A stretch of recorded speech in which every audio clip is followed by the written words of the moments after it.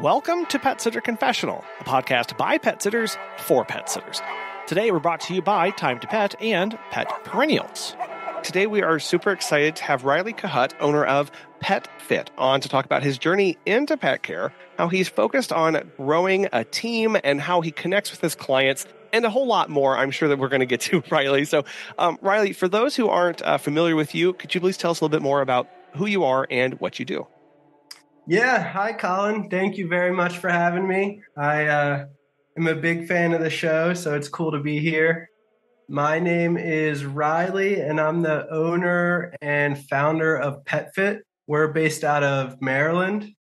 Um, I've been doing this. Let's see, we started at the very end of 2018. So I've been in the industry for, I guess we just hit our five year mark. So 2024 will be our sixth year. And uh, been a lot of ups and downs, but we're in a good spot. So five years really is a massive milestone, right? It's like it's just enough to now you've started to see a few cycles of business, see a few cycles of things, um, but also it, it kind of shows you how much more there still is to, to go.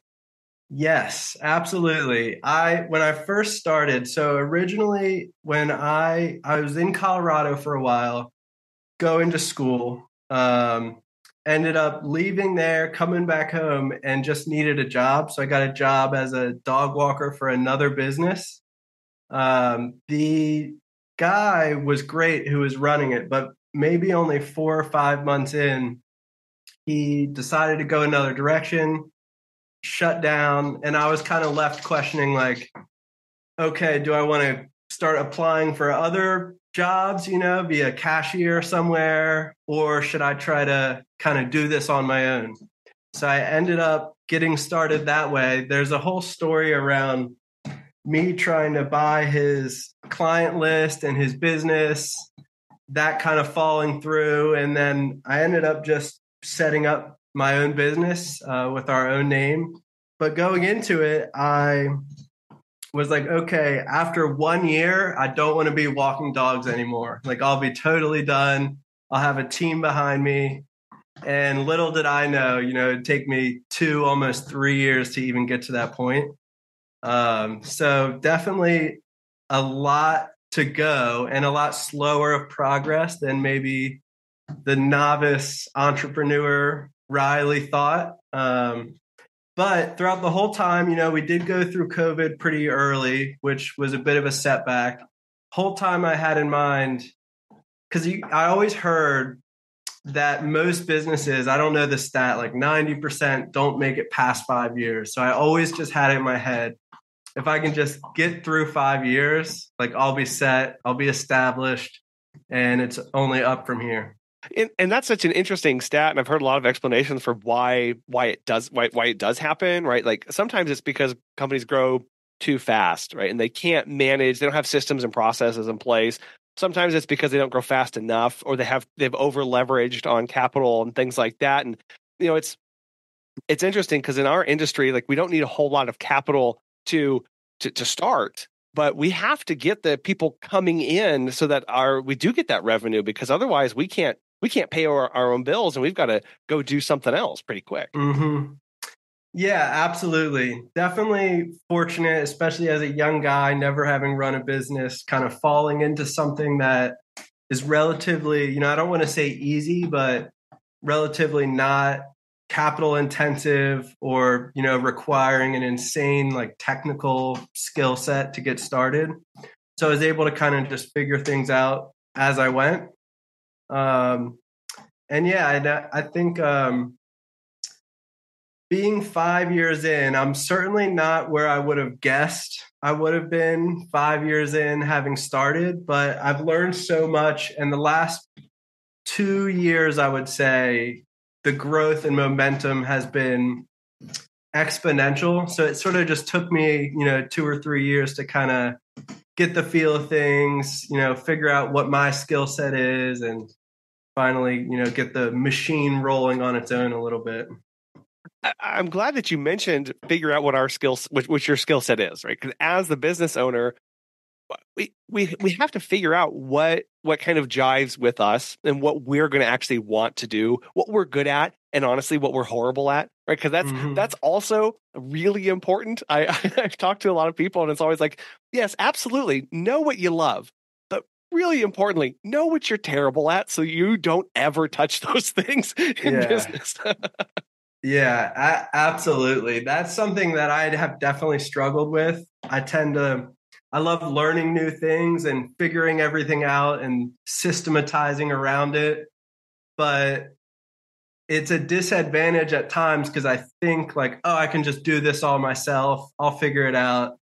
I end up putting a lot of time into it and like, you know, in the back of my head, really wanting to handle all that type of stuff on my own. And then it's taken me time to realize okay, as much as I would enjoy figuring this this out, I'm much better off just kind of getting the idea started and handing it off to somebody else.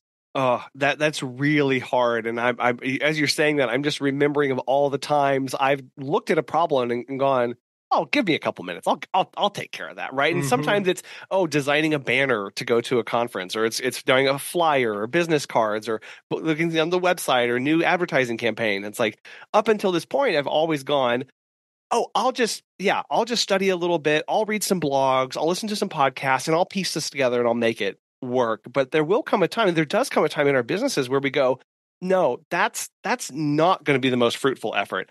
I need to spend my time somewhere else. And somebody who actually legitimately maybe loves doing this or does this for a living should probably take over those things so that I'm not having to. Yeah, for sure. For sure. I think you know, a combination of perfectionism and maybe like self doubt or insecurity about the business world plays into that because it's sort of like, okay, I want to do all these things. And also, I should be able to do all these things. Seemingly, everyone else is handling all this stuff. It's like, why is that not something I can also do? Mm. But as you, you know, listen to podcasts like yours and talk to other business owners, you realize that's kind of just the name of the game. It is, and that it's okay to put that stuff aside, and it's not admitting like, oh, I'm a I'm a terrible business owner or I don't know what I'm doing. It's well, in some aspects, it is going, you know what? I don't know what I'm doing. And so mm-hmm. I'm going to choose to have someone else take care of this, or I'm going to choose not to put this on. And that's, it's very, um, it's a very humbling experience, but it's also very freeing when we realize, nope, I'm at my limits. Someone else take over. Yeah.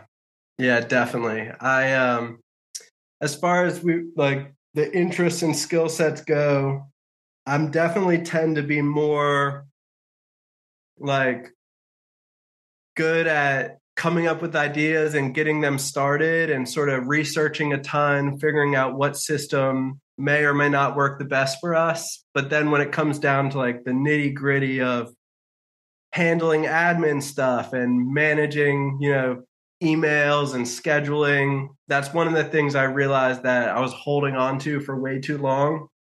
And my brain is just not organized enough to manage that. Like we did fine, you know, I never had any huge mistakes, but sort of realizing that, okay, somebody else actually would really excel at this, where it's taking a ton of my time. It's a huge drain. And, you know, working on scheduling and answering messages as much as it is integral to the running of the business, it's not growing the business at all. It's just kind of a maintenance task. So I finally was able to get one of our awesome team members to step up and help me with some of that stuff. And it has been just life changing, kind of being able to take my hands off, let somebody else run with it. And she does an amazing job. Couldn't be happier. Well, and, and realizing, I love how you put that too of is this growing or is this maintaining? And what's my role? And and and really it sounds like you've really fallen into this no my role is to grow this. My role is to expand and push and go to that next big idea. I need to then be smart about and wise about bringing the right people on to then go okay here's a brand new idea. Now you manage this and oversee it. Now I can go and do this other thing. And that's really such a better way to scale as opposed to us trying to always add more to our plate. Then we have to be both the expanders and the maintainers. And that's where stuff really does break down. Yeah. Yeah. A hundred percent. I, uh, I really, you know, I think like many pet sitters and dog walkers, you know, I got into it realizing that one, I'm great at, you know, building relationships, talking with clients. I'm great with the dogs. I'm great at kind of building out the brand.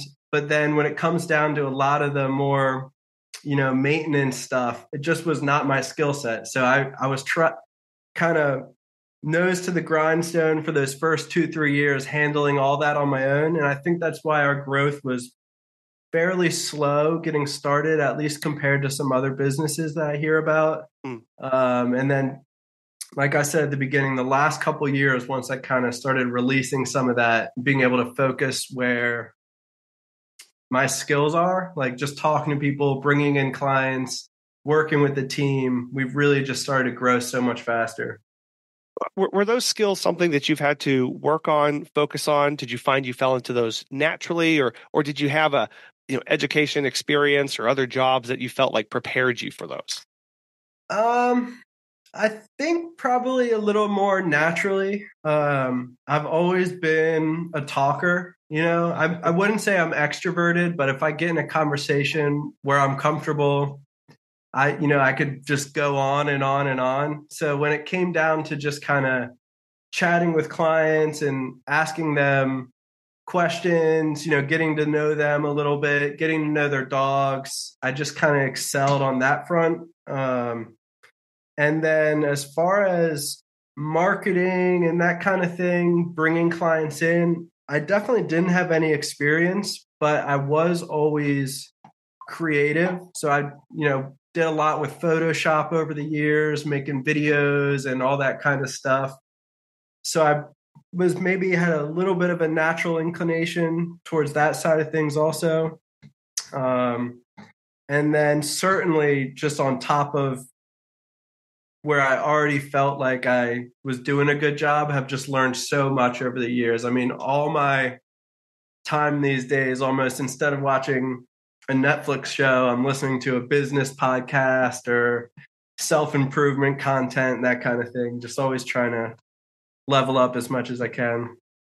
Yeah, it's an important reminder that we all start somewhere and that we can go, okay, what do I have? What am I already predisposed to liking or have a proclivity for or an interest in? Because it's going, I don't know if you were ever like this in school of going, well, the, the topics that I was interested in, I would spend all day studying for those and the topics that I had no interest in, you couldn't pay me money to study for those topics, right? It was like I just wasn't motivated to do that because that's not where my interest or skills were.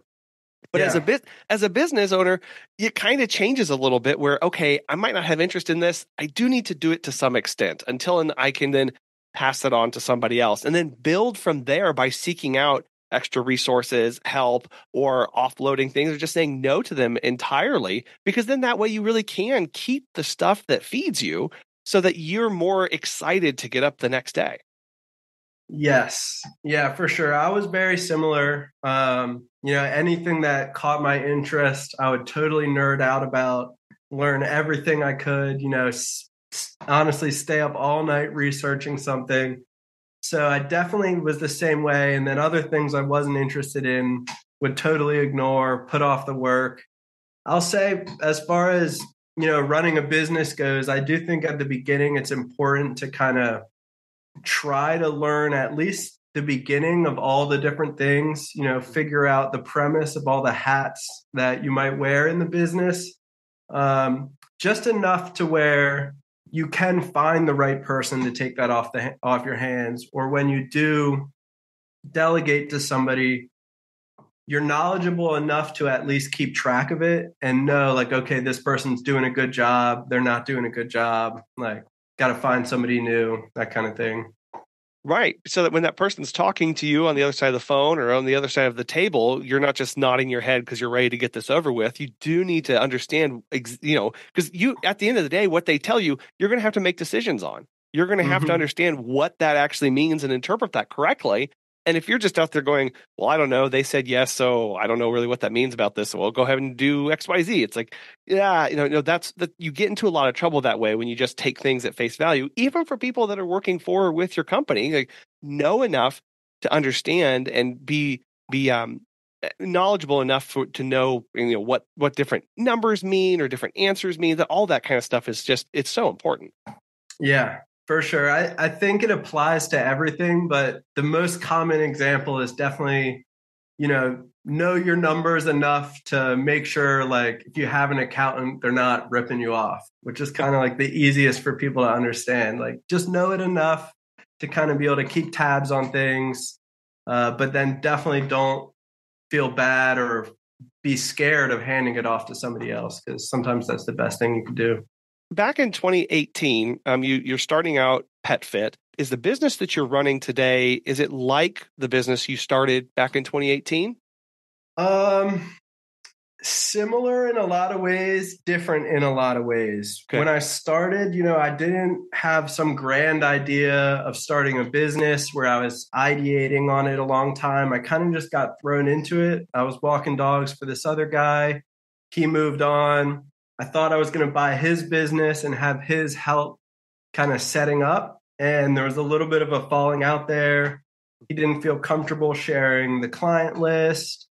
And basically, you know, we voided our contract and I was kind of at square one. So I had built relationships with a few different clients from that business, was able to approach them, get my first few people, and just kind of was totally winging it. I mean, I I did have the wherewithal to get software right away. So I think that was a great decision. Um, I started with Time to Pet, eventually moved away, and now I'm back on Time to Pet.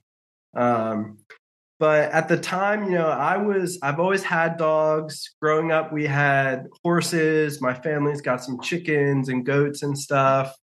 So I, I was fairly knowledgeable as far as what's good for dogs, you know, how to treat animals, but I didn't have much technical skill as far as what gear to use, you know, what's the best, you know, healthiest treats for them and all this stuff. When we first started out, just as an example, I was always using a retractable leash, which is something we would never do now. Um, just with all the risks. But at the time, it's like, oh, okay, well, this will give the dog some more freedom. They can get more exercise on the mm-hmm. on the walk. And I had no consideration of like, okay, this could break. It could tangle around a dog's leg. It could tangle around my leg.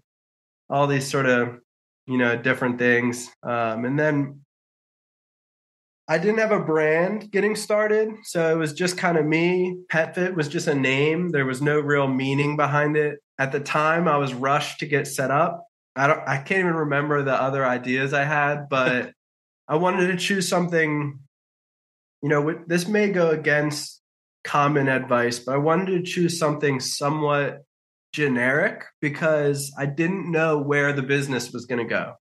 Mm. So I didn't want to, you know, form an LLC with dog walking in the name because I thought maybe, you know, maybe one day I'll be selling treats or run a store or something like that. So I wanted to keep it somewhat open. Um, and then, yeah, just I would say the biggest change was when the lockdown started after sort of, you know, the pandemic hit.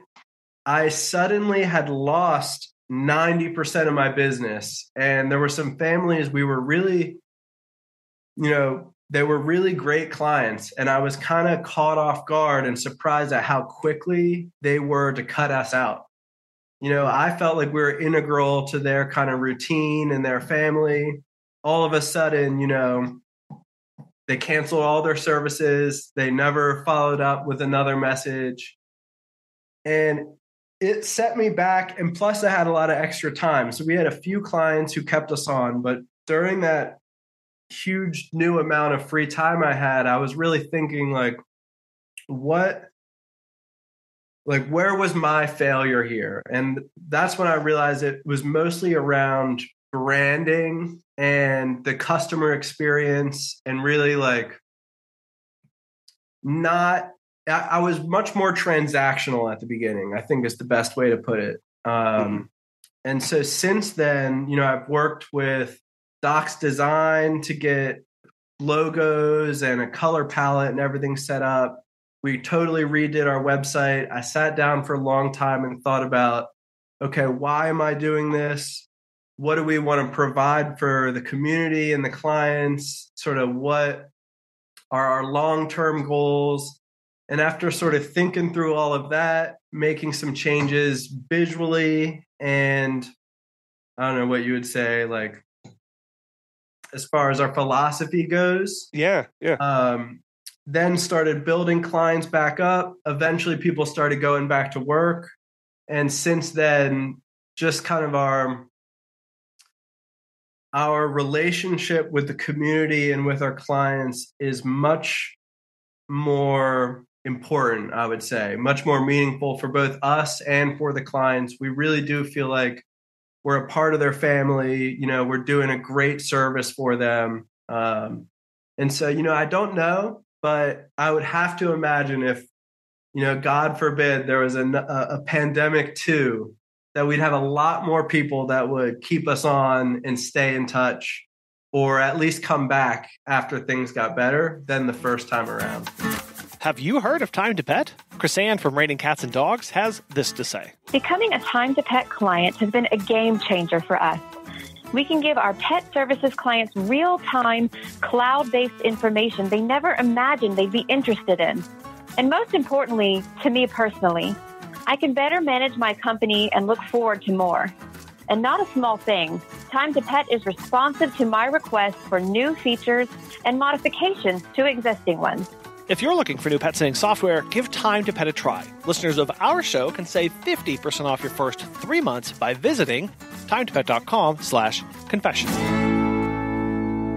How would you describe the, the PetFit brand? Yeah, so we are certainly very fitness focused. That's definitely in the name. Um, and our branding and kind of our mentality around everything is very outdoorsy and adventury. Um, and so we like to think that we're doing, you know, even though we are certainly just taking dogs out, making sure they poop, making sure they pee, getting them back in the house safely.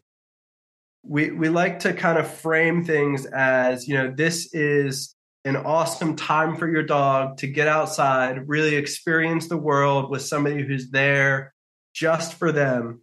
So we we love any opportunity to get dogs near the woods or any big fields, kind of outside of the suburban neighborhood where most of our clients are, and focus a lot on enrichment and just you know letting the dog be as much as a dog as they want to be. Um, so I would say that's kind of kind of where we are. Um, we were running a lot of adventure hikes for a little while, which okay. played into kind of the branding decisions we meant with, we made with lots of trees and mountains. We haven't been doing much of that recently, so that's another thing that sort of changed. But we very much still kind of embody that outdoorsy hiking mentality, uh, and that's what we like to portray to clients and I think I think they definitely enjoy thinking like, okay, my dog going out on this excellent adventure, you know, versus just somebody's stopping by to make sure they went to the bathroom while I was at work. And really, it, it's it's about trying to connect with the clients who who see that because I know I you know we get clients who just want the potty let out. They don't want anything actually. They don't really care. They just mm-hmm. want the mm-hmm. potty let out. And it, I know I'm always, I'm always frustrated because I'm like, oh no, don't you want like everything that we offer? Like, don't you? oh, yeah, yeah, absolutely. We we get clients like that too. Um, you know, and they're great clients. You know, they they pay their bills on time. They're happy that we're taking care of the dogs, eh, but they tend to engage a little bit less. You know, they're normally not responding to the visit reports and. Mm you know, uh, sharing stuff on social media and kind of getting involved in that way. And it's not to say we don't want them as clients. We're happy to take care of all the dogs, but when we can connect with someone, like you said, you know, on a deeper level, somebody who relates with our branding and kind of our philosophy, it is just so awesome. Like that's my favorite thing about running this business is just seeing clients happy and enjoy what we do and grateful and coming home without worrying about their pets and it's uh Hey, I'm, I feel pretty lucky to be in this in this industry. You know, we kind of just get to help dogs and help people make money. As a business owner, again, it's it's hard whenever you have clients who do they gush over you, they respond to every message, they share all of your fo- social media posts, they're replying, they're engaged, they're really like they're really getting it. And then you have those clients who who don't. And I think it's important to remember that it's not that they're not appreciative it's just they may be displaying it in a different way or um or th- they only want it to be transactional. They might not be looking for a relationship and that's difficult too of like as going no i'm supposed to build a relationship with you so just hold on right? We're going to have a relationship. And if that other person's going uh no please stop. I just want you to take care of this like there's nothing that we can do at that point. We just continue to serve them well and and know that that person doesn't want anything more out of this and then we decide is that is that something we're going to be okay with or do we need to move on from them?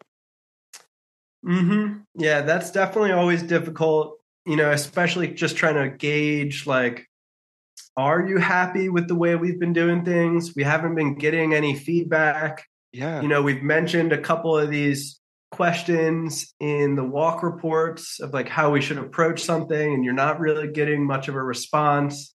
Maybe they fill out our extremely thorough forms and it's just all one word answers no detail. Yeah um, and that can be tough. Um, i think we get it's a lot of times our i would say just extremely busy kind of maybe higher net worth clients who tend to take that route. They're like, look, I'm I'm willing to pay whatever it takes. Just you know, make sure my dog's taken care of.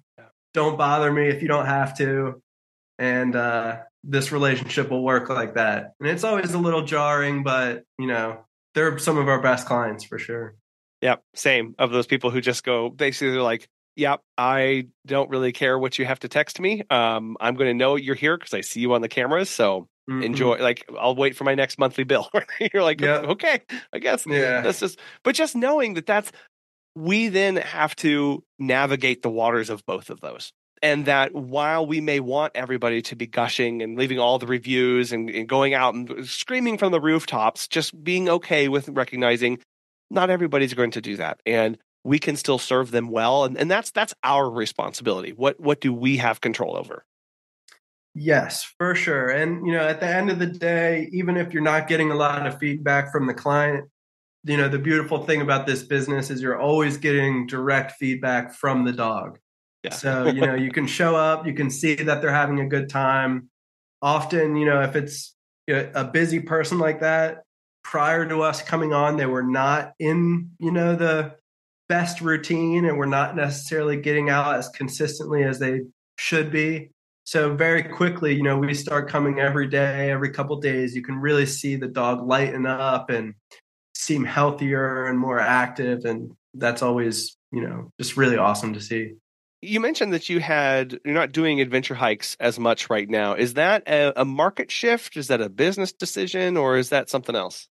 Um, a little bit of both. So the hikes we started up when I did the rebrand, it was in the middle of the lockdowns. So most of our clients prior were working nine to five, needed us there in the middle of the day. Um, and then during that sort of downtime when everyone was home, or if they weren't home, they had their kids out of school. So a child was home and could watch the dog we were really just looking for another way to serve the community and serve the pet owners. And, you know, I was in Colorado hiking all the time with the dog I had at the time and just really loved that experience. So I thought, okay, maybe this is something I can bring to the community. We have tons of nice hiking trails around here, um, but not everybody is that type of person or that type of dog owner. Mm. But most dogs are that type of dog. Right. You know what I mean? So we we definitely enjoyed setting that up and we ran some hikes for a while. People were definitely happy. Um, and then when people started going back to work and needed more just regular midday visits, we were constrained a little bit as far as staffing the adventure hikes go. Um, me sort of because at the time it was mostly just me doing them. So I struggled a little bit figuring out uh, both like numbers wise, how much to charge to have a client, you know, or a team member pick up the dog, take them out, go back to the house. And then I struggled a little bit more. The only way to really make it work was to do groups. And I, you know, I'm not a trainer. I'm great with dogs, but I don't have the best, you know, maybe behavioral analysis compared to a pro- professional trainer. Mm. So I stressed a lot about pairing dogs up. You know, what if we make a mistake and two dogs are fighting while we're out there?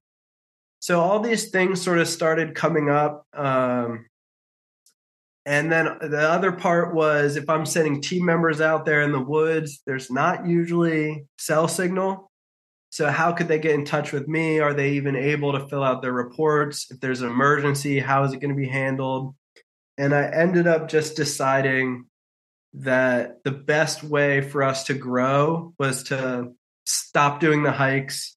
I continue to do some on my own occasionally, um, but really focus on building a staff team member base that could just help as many people who are back at work as possible. And we still try to carry, like I mentioned before, carry that kind of outdoorsy adventure mentality into the midday walks. Um, so it was a little bit, you know, of a market shift with people going back to work, and then also just uh, what's the word? Operational, you know, drag, I guess. Yeah, you know, I'll I'll never forget. I was at a, a business meeting and I had talked was talking about what we do as a business, and the guy across from me was just standing there. His eyes were huge, and he was like, "What an operational nightmare!" And I was like, oh, "Yes, you get it. You absolutely. It is a nightmare. I don't and yeah. and be, because you're right of going if I because it's not just how many people can I walk in a day, but now I'm going I've got an adventure hike that's going to last what 3 4 hours in is somewhere around where I've also got to be doing other walks, but I can't dedicate one person more to this than another one and then I can't do this one too early and I can't do this one and all of a sudden you're right just going okay, all that's being cut loose. Like and that's just mm-hmm. operationally let alone like you said what happens if they fall right? Now i've got do i equip every one of them with a with a gps with a garmin gps alert system you know and or how do i make that work? And this is where we go as business owners we go i may want to still offer this. I, this this i still may have a heart or passion for this but can i make it work? Is it workable for my company for me? And listing out all those limitations and then you can really line that out and see no, no, it's not going to work right now. You know, and I'll just fine. I'll move it. I'm sure. I'm sure you've just got it sitting over here, maybe ready to pop back out later if an opportunity arises.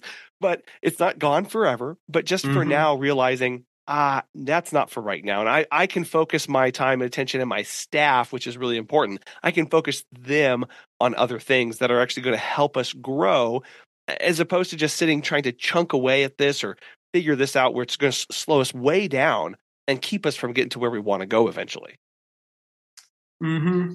Yeah, all of that is very well said. I, I think the, the biggest fear of mine was definitely the staff. Um, we had a girl roll her ankle in the woods pretty early on and was out for a couple weeks. She didn't break it, but it was very severely sprained and she couldn't put any weight on it. And I just could not stop thinking about okay, what if, you know, what if she did break her ankle? We're making workers' comp claims. Then I need to have somebody there to replace her. It can't always be me. And just developed, you know, maybe some irrational and some logical fear around that situation.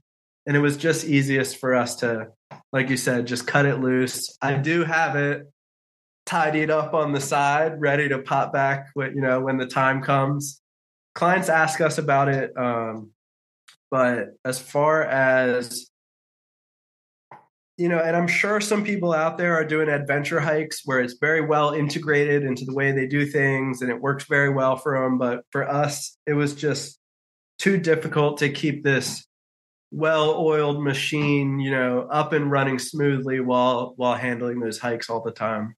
How early into your business, Reilly, did you start doing membership? based dog walks? So the membership is fairly recent, um, and we we have been getting some confusion around what a membership is, and so I'm I'm still kind of iterating and playing with the language we have on our website and the best way to portray what we're doing to clients and potential clients.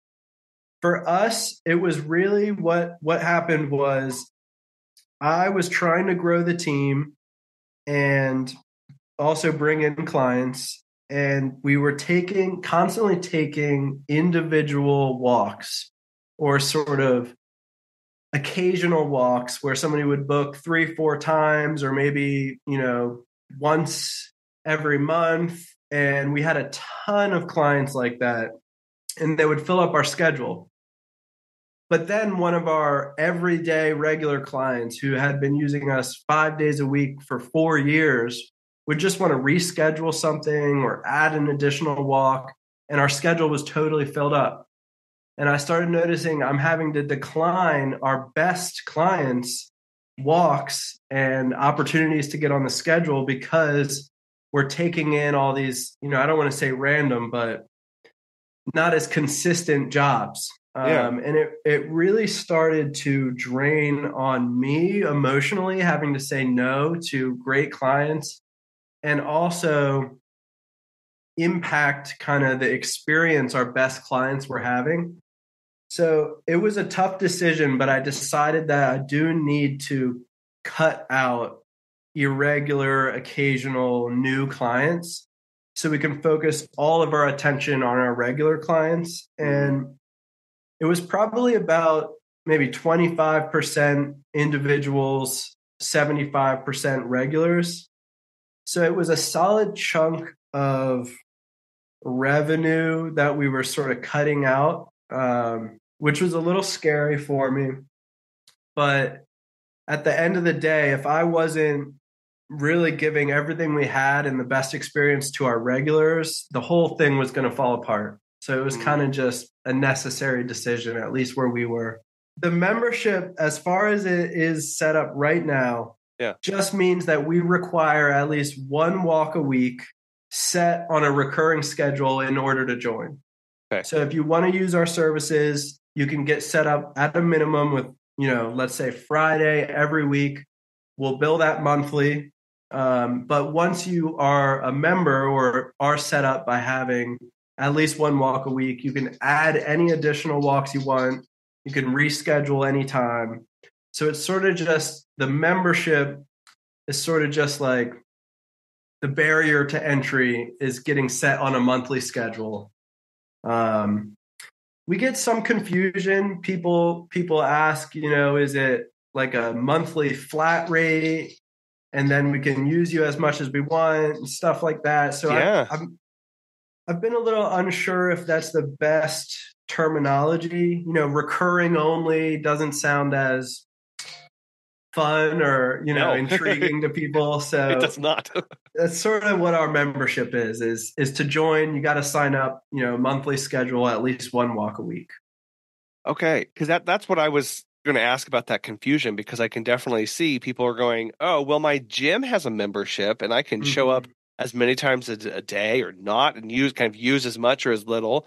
But from your perspective, going, no, this is what you need to do to gain gain access to our services at all, right? And Mhm. and I and I definitely see that now once you are a member you can do all of these things and here's the benefits but there's there's no one-offs right you either are a member of us or you are not and that's a very different mindset for a, a, a huge chunk of the population i mean as you were experiencing 25% of your revenue was from these one-offs and i know that that's a struggle that a lot of people have of I, I know when I get a phone call, I can just hear in the tone of voice, I'm going, you are going to use us this one time and I will never see you again. I just I just know. Right. And so Mhm.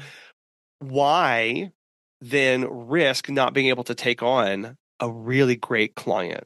Or if you have a commitment of, yeah, you know, because I, I know, right, Reilly, you don't do, you know, pet sitting services, um, but a, a lot of people do, and going, why would I take on this one um, and really stretch myself when I when you know an existing client isn't you know may have an emergency and they're not going to be able to use me or the walks right if this one person is going to be home today they don't need me and th- then i can't reschedule them that's not a really good customer experience for them it's not a good mm-hmm. feeling for them to go wait i'm being bumped? Like what? Like I, and instead of going first come first serve basically you're going no i'm here to serve members. And it sounds much more like a like a you know like a country club aspect of like look once you're in here look sure then you can make the reservation at the table. Then you can book your tee time but you got to be a member first to get that done.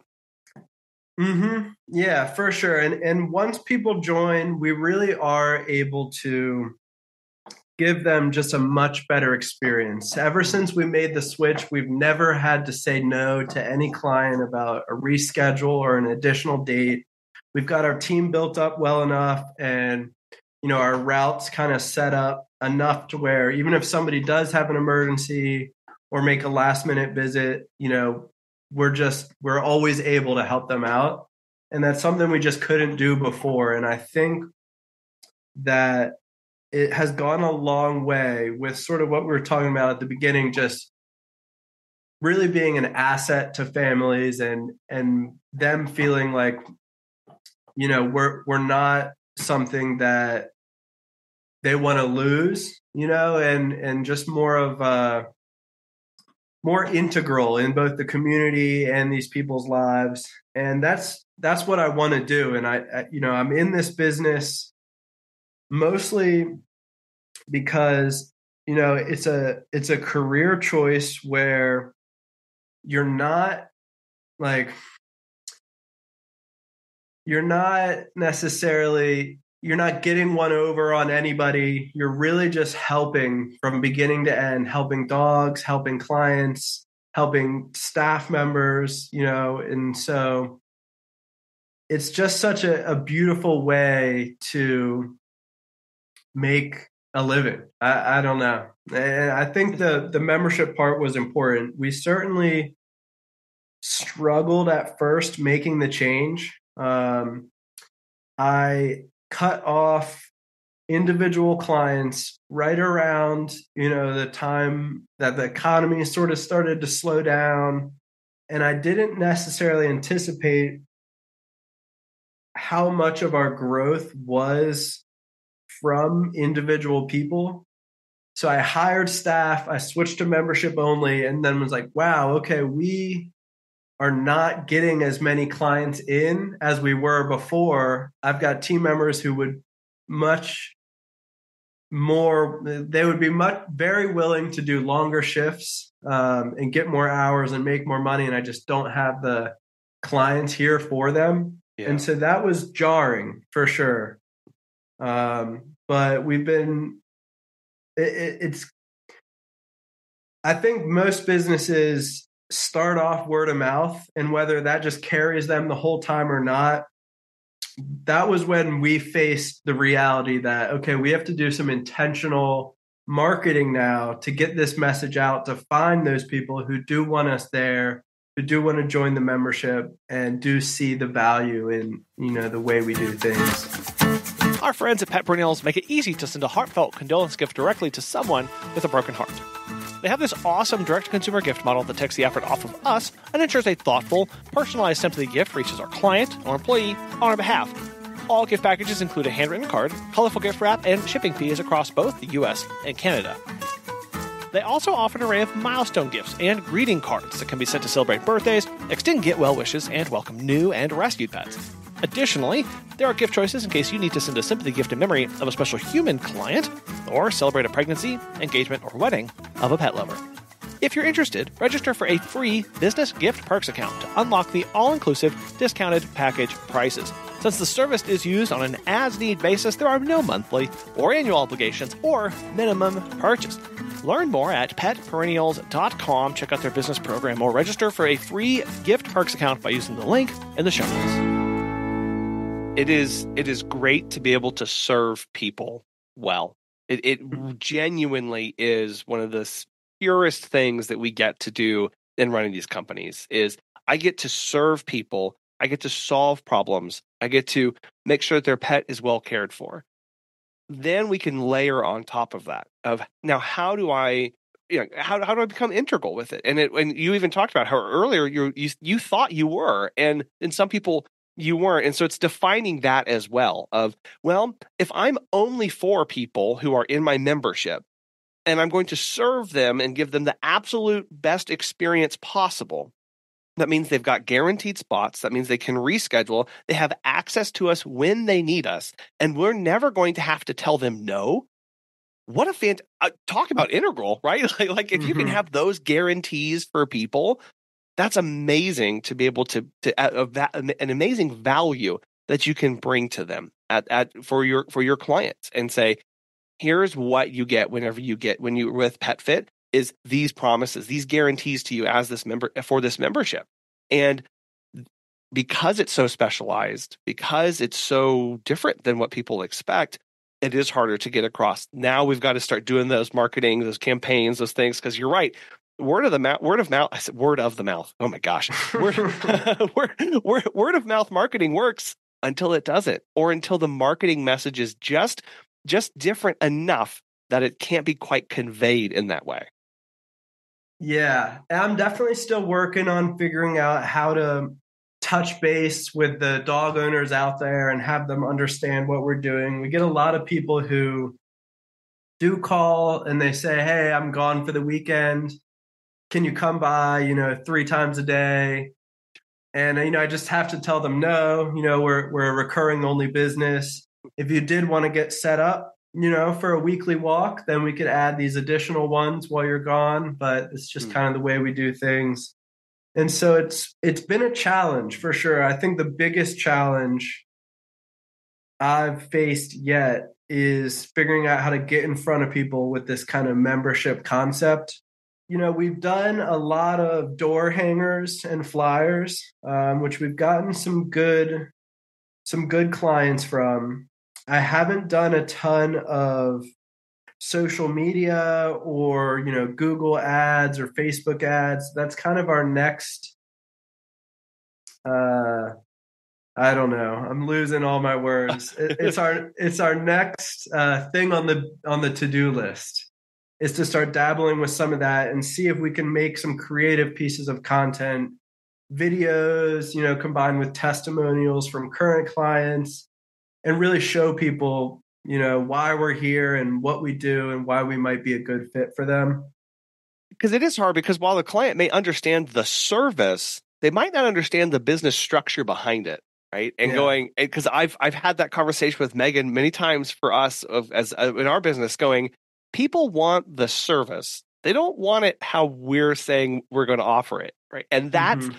that's hard right? Of going, okay, I know you say you want the walk. Here's the things you need to do to get the walk, or here's the sitting you want. Here's what you need to do. Here's how we provide that. And we think how we provide it is a huge selling point, don't we? We think, oh, like obviously. But if people don't see the superstructure, right, how we're going to administer the service, if they don't see the value in that, it's hard to convince them to sign on when all they're sitting over here is going, I just want the service. Just just show up. Just show up for three times. Come on. Wait, wait, what's so hard about that? And you're going, well, but that's not how we do things. And that that's where that message is really hard to get across. Absolutely. And you know, I'm still figuring it out. Um, but we're we're doing well and you know, amazing benefits, or at least what I see as amazing benefits to the clients aside the other huge part of it, as far as running a business goes, is it's just made things so much more manageable for myself and for the team. We have consistent walks every day of the week. We know they're there week in and week out. We can predict our income much better.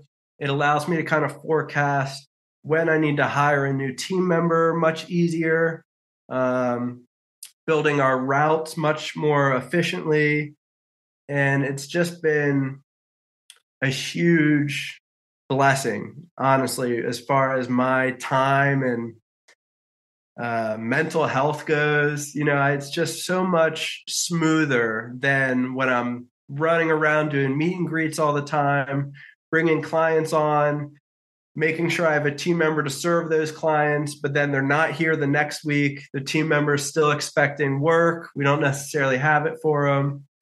So it's been it's been a game changer on that on that front as well. How have you been leading your team through through these changes or how do you see yourself as as leading them in your company? Leading is something i think i do fairly well at. Um, i'm sure i'm not getting the you know i'm sure i'm getting biased feedback from our team members but they they definitely seem happy with the way i've been running things I have had to learn a lot. Um, and I'm much more kind of hands on. You know, I, I haven't had a lot of training materials like structured out and written down, which we do want to do eventually just to help us stay consistent and grow. But, you know, for me, it's much more about getting out there, showing them how I do things, how I approach the dogs, how I talk with the clients, and just kind of leading by example. And then at the same time, taking into account, you know, that I'm the the hardest thing for me is has been realizing that not everybody is going to have the same passion as I do. Even if they're an awesome dog walker, you know, it's not their business. You know, they may just just want to get a paycheck and there's honestly nothing wrong with that. And so it took me a while at the beginning to figure out how to approach um you know, maybe reports being a little lackluster or mistakes being made and figuring out how to talk to them and get them to understand, you know, kind of the importance of doing things the way I want them done. And man, I don't know. Be, becoming a better leader is definitely something I am just constantly working on. Um, I, I'm certainly asking for their feedback as much as possible. I try to take into account what they say. You know, myself personally, I always kind of have, I've thought about just about everything. So let's say somebody brings something up, you know, oh, I think it would be great if we, if we started doing this, this for the clients. And at first I would tend to say things like, oh, yeah, I've already been thinking about that. You know, we're going to get that started soon, which is mm. kind of, I think, demoralizing for the person who brings it up and I've learned to be much more just listen much better and just say, "Oh wow, that is a really great idea." You know, I've I've briefly thought about that, but I'm curious, you know, how you would want to set that up and just hearing from them more and not I just always I always used to just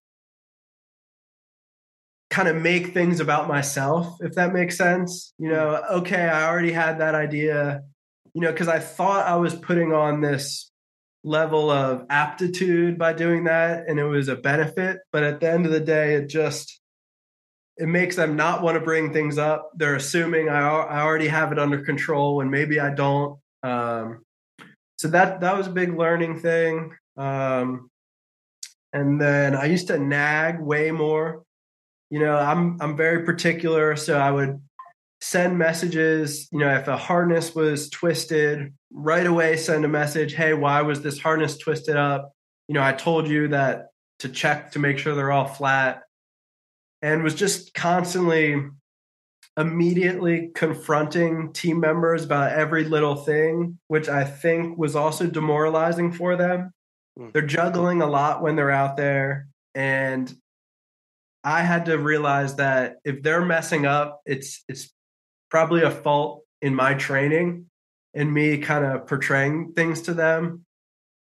So those couple things. It, as far as leading goes, I've got a long way to go, but I think just realizing that the staff is human, they want their ideas to be heard, they want to contribute.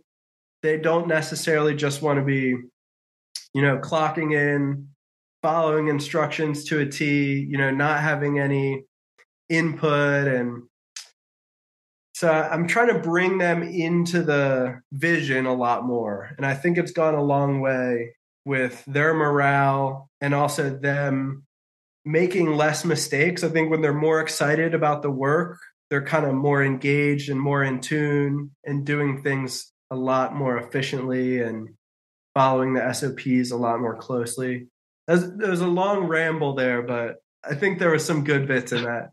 well, eh, you know, a couple things stood out to me as far as you know. A lot of people who have staff they get frustrated because they don't feel like they're getting good feedback, and I and I think that starts with what um, unconscious signals are we sending to them? Like kind of like what you realized early on there, Reilly, of going, yeah, when I say these things, um, I'm trying to convey one thing, uh, but they're picking up on something else. Like when I say, "Oh yeah, yeah," I, I, I figured, I thought, thought about that yesterday. Uh, we're not going to do that um, why they have no incentive of coming to you tomorrow with another idea right? They, mm-hmm. they, they, when we when we say oh open door policy right? Come in come and talk to us we will be fine. If if every time you they come in you go yeah yeah i've thought about that or yeah cool cool, cool. anyway like they're not going to come back in. So genuinely sitting with an interest going tell me how you would do that. Asking some questions. And maybe you do say that that's something that you thought of but now with their information we, we're going to talk about that again and, and you know move forward from there and then understanding that when we talk about being a leader, it's also important to know who we're leading and knowing the people as people, right? You said my staff are human, right? They're going to make mistakes. Uh, so I have to know who they are so I know how to lead them. Because if I'm just trying to do everything the exact same, treat everybody in the same manner, that's going to work for nobody, right? like I'm really going to make some angry people but instead taking the time to get to know them and then you know how to lead that person well and then the next person well and you know and actually have those relationships too. And that's definitely an important part kind of knowing the team members on a more personal level to where you can sort of realize okay this person's going to respond very well to just you know straightforward kind of criticism whereas this person might think that you know they're about to get fired if i if i correct them on something and just yeah. sort of figuring out the nuances of how to approach everybody um, and my tone of voice especially if i'm in my work mode and i just say some say, especially texting you know send a message to somebody hey the client said this you know why did this happen i realized fairly early on that i was just not it was not coming across to them the way it was in my head. I'm normally not mad or frustrated. I, I do understand that they're all human, but I wasn't carrying that to them very well. So I started doing a lot of one, just waiting to say something. You know, the harness was twisted. I already, I'm I'm looking at a report of a walk that already happened. So they're in the middle of their day me calling them right away to bug them about it, it's not going to untwist the harness in the walk that already happened. Oh, come on. yeah. So just giving some space, one for me to kind of continue to think about what happened and how to approach the situation. And two, to just not drag them down while they're out working. You know, I, I want it to be a fun experience for all of them. So I, I tend to wait um, until at least after a shift or maybe at the end of the week, I touch base with someone and, and let them know things that could be improved on. I've learned to always kind of I, you know, I don't. I Gary Vee always has some phrase. I, I don't know exactly what it is, but it's basically like give a little honey with the vinegar. Okay. So I've learned to always kind of say, okay, you've been doing this really well. You've been doing this phenomenal. Your report looks great. I have been noticing that, you know, the harnesses are a little bit loose. Uh, I think it would go a long way for the comfort of the dog, you know, and visually for the client. If you just took that extra couple minutes to make sure they're all snug, don't worry about going over your allotted time by a few minutes. We'd rather get everything, you know, safe and secure for the dog than you be rushing through it. And so that's gone a long way. Um, and then I would say probably the other thing is just letting them take time off has been huge. So I was strict on on people requesting off at first, sort of out of necessity. And it just made the whole experience for them in combination with my nagging, you know, um, in combination with my strictness on sort of timing and stuff, much less de- desirable. And we did have a lot more turnover of staff at the beginning. And I think I was a huge reason why. So now I'm I'm sort of take the philosophy have enough team members that anyone can take a day off if they need to. It's not going to drag down the business. They need that time. You know, at the end of the day, most of them are part-time workers. You know, this isn't their life like it is my life.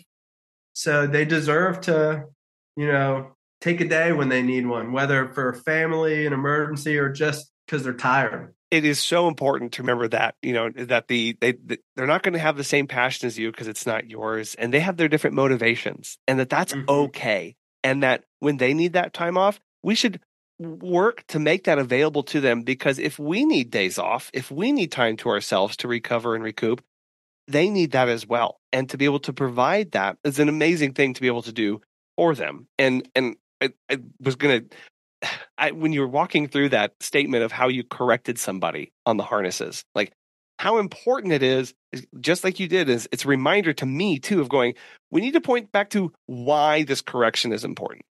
Mm-hmm. I don't just want to sit here and go, well, the harness was wrong and you need to fix that next time. Okay, bye. And comfort, safety, aesthetics, like all these are critically important. And then you can, dig, if you need to, dig deeper back and go see our company values, and here's our mission statement, and here's here's all this stuff that's really important to us, and see how that flows to this thing that happened. Our you know our mission yeah. of best customer experience possible. That's why these things are matter, or whatever that is for us. It's going. This is an outflow of that because we know in our head why things are important. Our staff don't because they didn't write it right? They're not they're not thinking or obsessing about this stuff 24 7 like we are. So just taking that moment to point them out to going you know how i say these things are important? A twisted harness is a reflection of those and that's why these are important to them. That is very crucial um, and it's funny that it took me a while to kind of realize that because growing up and in jobs i've had in the past i was always the person that's you know asking why. Like, okay, I, I, I will do this, but can you explain to me why that makes sense? And it was very hard to be motivated to do things or follow directions a specific way if I didn't understand, you know, the value behind it. So that's super important and I do try to try to convey those things to the team. I'll try to make videos every once in a while. Like if I notice one person is making some sort of mistake, I will approach them about it. But if it's sort of something that all the team is not necessarily a mistake, but could improve on, I'll tend to make a video of just me talking, you know, kind of explaining, you know, why something should be done a certain way, the value it brings for the dog and the team member, and not uh, singling out anybody and then I think that that has been doing very well for us as well because it's not putting anybody on the spot. They're not necessarily like questioning, you know, how good of an employee they are just because I want to correct one little thing. They're like, oh, this is just, it's just kind of ongoing training. I found that doing videos like that, at least for me, work a lot better than kind of talking to somebody one on one about something that is minor. Um, yeah. So I don't know. I've got a long way to go in the leadership side. Um, learning to manage people has been very difficult. I think I'm getting better at it. Um, the team seems happy. We've got people who have been sticking around a long time. So I think I'm improving, but there's miles to go for sure. Reilly, I really appreciate you coming on the show today and encouraging us to to make some of those tough decisions as far as what fits with us operationally and and what's going to be a good fit and as a reminder to us to serve our clients well and treat our staff well too and to never stop learning and improving. I, I do know that there's a whole lot more here, and you have a lot on your plate and the cool stuff that you do. So, for people who are interested in um in following up and getting in touch with you, how best can they do that? Anyone can reach me. Probably the best thing would be just a DM on Instagram. Um, we are petfit.us. Our website is also petfit.us. And the, my email is reilly at petfit.us. Um, so email me, check out our website, check out our Instagram. I'd be happy to answer any questions you might have, or if you just want to, you know, commiserate about some business stuff, I'm happy to be there for that as well. And I'm just grateful that you had me on the show. I hope there was something there that uh, other business owners could take away. Hopefully, there's some nuggets in there that are helpful for anybody. I really appreciate it, and you coming on. I, I, I really really appreciate your time today. So thank you. Yeah, of course, happy to be here, and uh, you know, good luck to all the business owners out there, and uh, you know, as as hard as things get, you'll you'll get through it. Just put your mind to it, and uh, you know, definitely utilize resources like this podcast, groups on Facebook, all that kind of stuff was huge for me because it's isolating running a pet business by yourself, especially. So definitely utilize all the people and resources around you. We often talk about the why in business for when we get started or when times get tough, that we can grit and push through when we focus on our why. We should also reassess that every time that we look to make a change in our business. Why am I doing this? To what end is this beneficial to me, my employees, if I have them, or, or my, my clients that I'm serving, or for their pets that I am tending to? Why is this? Always checking our motivations and our reasoning, not just so that we are approaching people with a purity of motivation and of mind and conscience, but also so that we know it's something we can stick to because it's actually in alignment with us, not just making changes to chase after the dollar or to get more popular or to get more likes or whatever, but genuinely, what's the purpose? What is the reason for this? What's the heart behind what we do?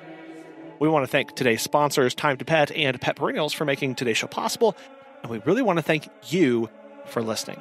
We hope you have a wonderful rest of your week, and we'll be back again soon.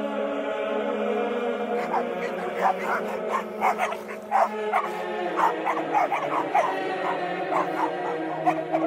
you.